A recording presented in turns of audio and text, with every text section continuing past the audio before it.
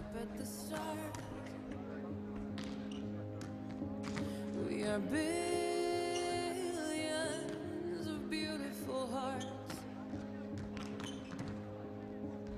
and you're so.